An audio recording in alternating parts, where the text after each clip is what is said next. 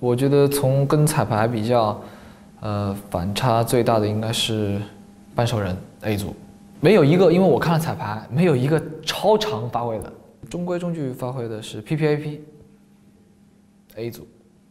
从个人角度来看，看的是电视机的转播，那电视机的转播有各种角度转换跟切换，每一次不同角度都可以可以给我说哦，蛮棒的的一位选手，一个是金一涵。一个是蔡徐坤，哦，谁的票数应该会最高的？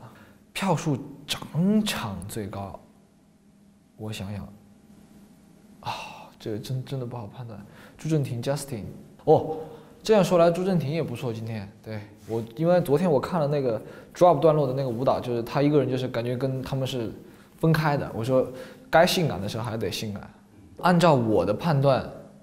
导致这一次舞台有那么多，呃不应该的事情发生，包括我刚刚说的一些失误，应该是心态，不断的上舞台，不断的磨练自己的心态，得稳得沉。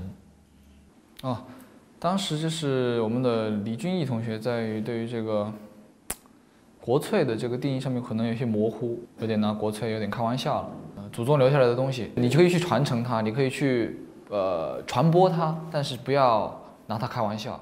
包括到现在为止，我一直非常尊敬每一位前辈，因为我们每一点的现在的改变都是基于以前前辈打下的基础，啊，走过的路，所以我觉得不应该拿国粹开玩笑。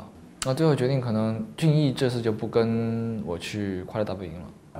首先会带 A B 班的练习生们。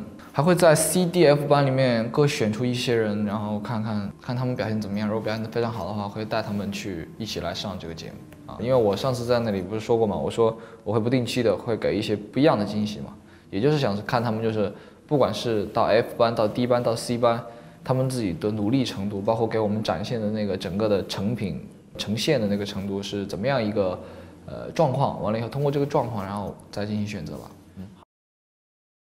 爱奇艺悦享品质。